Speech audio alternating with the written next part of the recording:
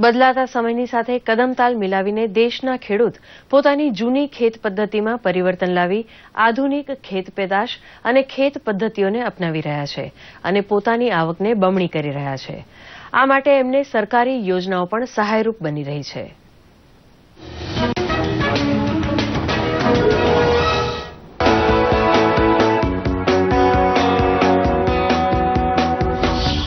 આ છે વિનુભાઈ. જે તળાજા તાલુકાના કુંઢેલી ગામના રહેવાસી છે. જેમણે એમની બાવીસ વીઘા જમીન ઉપર ડ્રેગન ફ્રૂટની ખેતી કરી છે.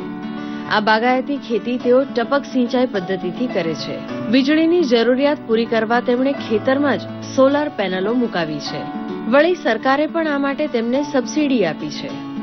છેલ્લા ચાર વર્ષોથી તેઓએ આ બાગાયતી ખેતી અપનાવી છે, જેમાંથી તેઓ એક વીઘાની ઉપજથી જ એકથી દોઢ લાખ કમાઈ લે છે.